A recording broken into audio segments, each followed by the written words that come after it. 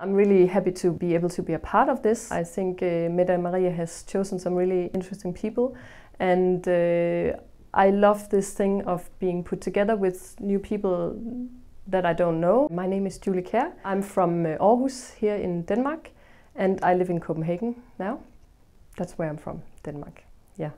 Yeah, music is uh, really important to me. It's a very big part of my life. My family is very musical, so there's always been music around. I was lucky to go to a school with lots of music. It's not like I chose really to be at.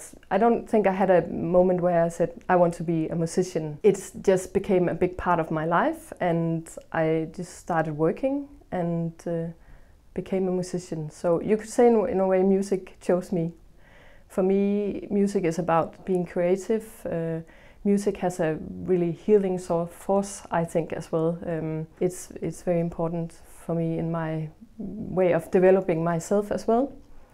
Uh, connected to my nationality, I think that's a bit difficult because I don't I don't see it. Uh, maybe like the listener would be able to see it, but um, I'm inspired by lots lots of music, like folk music from different countries kind of different places in the world, uh, jazz music, experimental classical music from different periods. So yeah, I don't see it derailing from one kind of Danish source, if you can say that.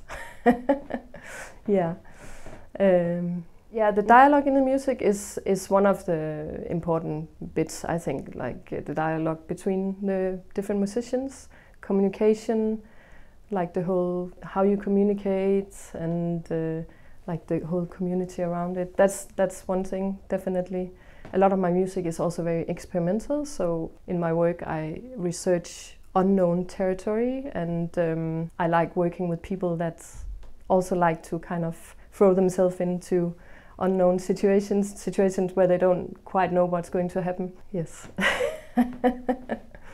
so I think it's quite interesting to play for different kind of audience. It can be at least, or sometimes it can be like a really tough work to play for someone that kind of doesn't kind of open up and doesn't open up to the music. But it can also be interesting to try and provoke some different feelings in these people. I've definitely been in situations where the audience didn't really react to the music, and I think that's that can be quite tough work. Um, or they didn't react like in a positive way. If they don't act in a positive way, or you get like uh, negative comments afterwards or some something like that, you just feel like you actually you had an effect. The music had some kind of effect. Um, you provoked them in some some kind of way.